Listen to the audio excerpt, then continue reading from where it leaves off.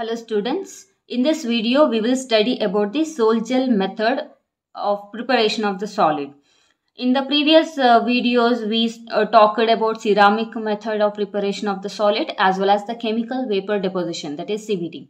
Okay, uh, there are mainly four methods as I already said that is uh, ceramic method, sol gel method, precursor method and CVD. So these are the four methods for the preparation of the solid. Out of these four we studied about the ceramic method and the chemical vapor deposition. Okay, the sol gel method and precursor method is uh, uh, left and in this video we will mainly see the sol gel method. Okay. If you haven't watched the ceramic method or uh, chemical vapor deposition method, please do watch. Okay. So in sol gel method, first we have to understand what is sol and what is gel, right? So here sol or gel, we know these are nothing but a colloidal particle, right? Sol is a colloidal particle, gel is also a colloidal particle. Colloidal particle. So now what is sol gel method? Means uh, we know that sol is also a colloid, gel is also a colloid. Means uh, colloid means what? It is a very small molecule or small particle, right? So in the sol gel method, we are preparing the solid, okay? Preparing the preparing solid from the small molecule okay from the small molecule or small particles that is usually a colloid that is sol okay? The preparation of the solid from the smaller molecule that is why this is called as sol gel method okay? So here in this uh, uh, method the first step is the preparation of the sol okay? What is the first step? Preparation of preparation of sol okay i said sol is what? Sol is a colloidal particle uh, a colloidal uh, thing okay? Gel is also a colloid well now what is sol how can you define? If you have say this is the dispersion medium which is in the liquid phase okay? Dispersion medium is a liquid. So in sol what is the dispersed phase? The dispersed medium is liquid right? So uh, dispersed phase is a solid okay sol means what? It is nothing but a liquid suspension of the solid particle. Okay what is sol it is nothing but a liquid suspension of the solid. Means liquid is our dispersion medium while this is our dispersed phase. Well so in this method the preparation of the sol is the first step. Now how to prepare this sol that can be done by the hydrolyzing. Okay it can be done by either okay it, it is done by either hydrolysis hydro hydrolysis okay it can be done by hydrolysis or it can be done by the partial condensation.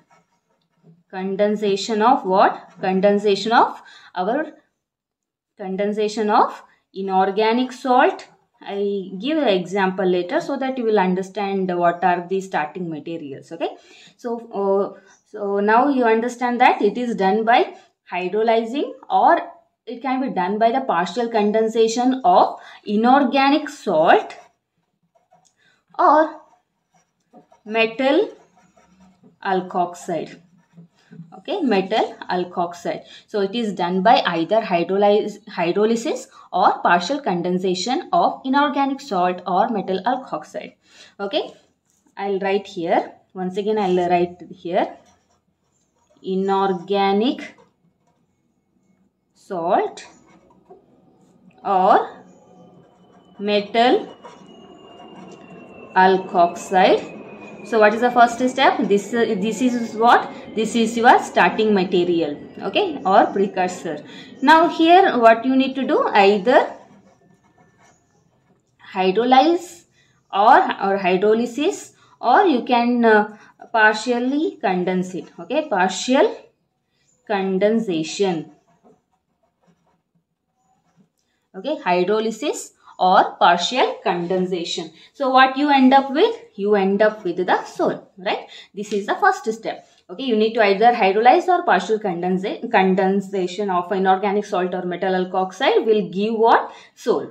Okay, once you get the sol, what you need to do is you can either heat it. Okay, you can heat it or you can keep it as such for several days. That process is called as aging. Okay, aging. A-G-E-I-N-G. Okay. So what is aging? Uh, heating means you are just directly heating the sol so that uh, water content present in a sol get evaporated out, evaporates, right? So from where do you get the water? Hydrolysis or partial condensation. Obviously, you will be adding the water, right? Dispersion medium will be the water, liquid. So whenever you heat, that water or um, you know, liquid content vaporizes or aging means what? You are keeping it as such without disturbing for several days. Then also dehydration will occurs right? So removal of the water or removal of the solvent will take place in this step. Okay once um, the sol is heated or um, kept as such for several days you end up with the gel. Okay you are end up with the gel. So gel is nothing but a three dimensional network structure. Okay it is having a three dimensional network structure. Once gel is obtained from the sol, what you need to do is you need to heat it very strongly. Okay, you need to heat it very strongly. That is um, what we call okay here strong heat is required. That process is called as calcination. Okay calcination is done. That means you need to heat the gel very strongly so that all the moisture content present in a gel evaporates off leaving behind the solid product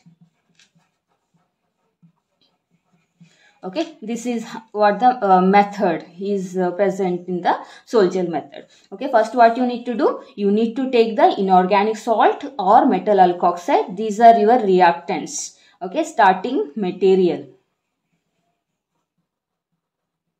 Okay this is the starting material. You need to either hydrolyze it or partial condense, condense it so that you, you will end up with the sol. And once the sol is obtained you need to heat it okay at some particular temperature and you can keep it as such for several days so that the moisture content will evaporate off giving the three dimensional gel structure. Okay? Once gel is obtained you need to heat it very strongly. That process is called as what? Calcination process so that you will end up with the solid product. Okay this is the method. Now we will see the example for the solid that can be prepared by the sol gel method. Okay example. Okay?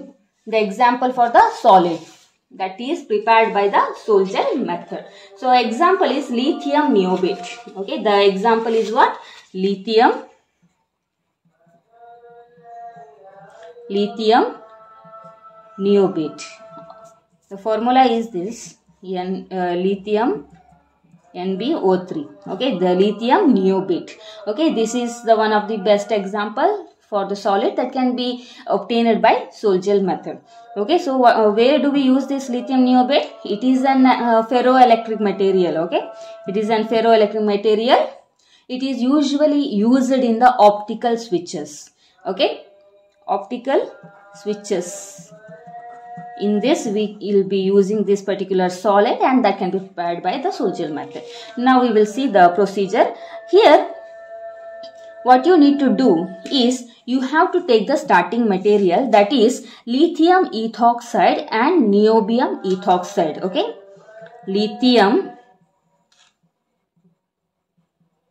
ethoxide and niobium ethoxide okay? That is let me write the formula also. The lithium ethoxide and niobium NB2 okay NB2 OET 10 okay this is niobium ethoxide lithium ethoxide. These are your starting material. What you need to do is you need to take lithium ethoxide in one beaker. Okay you are taking this will be in the solid state both are in the solid state. You will be uh, taking the lithium ethoxide in beaker and dissolving that in the absolute ethanol okay alcohol using alcohol that is ethanol you are dissolving it. Okay you need to stir. Okay, what you need to do? In a beaker, take lithium ethoxide and uh, ethanol and stir it so that lithium ethoxide will dissolve. Okay, similarly in another beaker, you need to take this one lithium ethoxide and add alcohol. Okay once again stir it.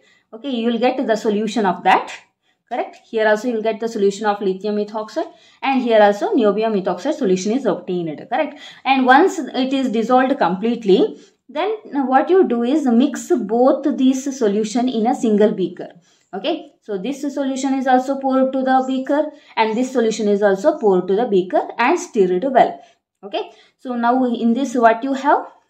You have the mixture of lithium ethoxide and niobium ethoxide okay both will be present here correct?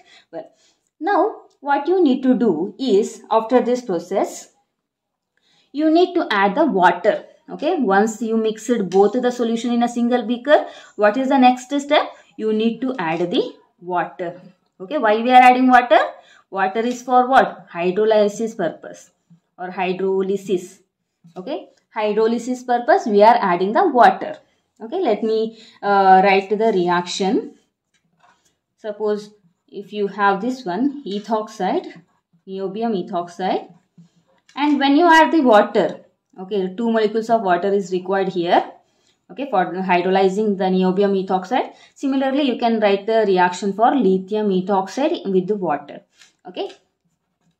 What you get? You will get the hydroxy alkoxide of niobium okay. So let me write. You will get two molecules of niobium OET4 OH with two molecules of ethanol. Two molecules of ethanol okay? What is this? This is nothing but a hydroxy alkoxide of niobium okay? Hydroxy alkoxide alkoxide uh, here ethoxide okay? Hydroxy ethoxide of niobium. Okay similarly the uh, lithium ethoxide present in this beaker will react with the water to give hydroxy ethoxy lithium okay? Okay now once you get this okay this is our sol okay you also end up with this is the one product correct? So you also end up with the uh, lithium ethoxide hydroxide okay or um, it is uh, said like this hydroxy ethoxide of lithium and hydroxy ethoxide of niobium okay. Both will be present in the beaker when you add the water okay. Both will react with the water to give the hydroxy ethoxides of uh, niobium and lithium respectively. So once that is done we need to heat it okay. This is our sol okay? And you need to heat it so that it will get converted into what? When you heat it it get converted into gel okay? Once gel is formed what we need to do? We need to heat that uh, three dimensional network uh, structure is there no? That is gel. Very strongly so that you will end up with the solid that is lithium niobate okay very strong heat is required here okay? Strong heat so that all the water content get evaporated off. And also you can see here ethanol is present correct? Whenever you heat strongly that ethanol also escapes vaporizes. And also here ethoxide part is there no? Whenever you heat strongly that ethoxide part will get pyrolyzed okay the ethoxide or ethyl part of this uh, uh, group. Okay that will pyrolyze to give carbon dioxide and water. Okay this is the purpose of heating strong uh, strong heat here or calcination. Okay what's the purpose of heating very strongly or calcination? So uh, whenever you heat strongly the here ethanol uh, is a solvent we added here to dissolve our uh, uh, reactant that get evaporates off and also the water water uh, that we are added for the uh, you know hydrolysis purpose that also evaporates off and ethyl part of this group okay that is ethoxide part that will get pyrolyzed to carbon dioxide and water that is and uh, finally leaving behind our uh, lithium niobate which is our required solid okay so this is the method for the preparation of the lithium niobate by using Sol-Gel method. Okay, if you have any doubt in this uh, uh, method, Sol-Gel method, please let me know in the comment section. Thank you for watching.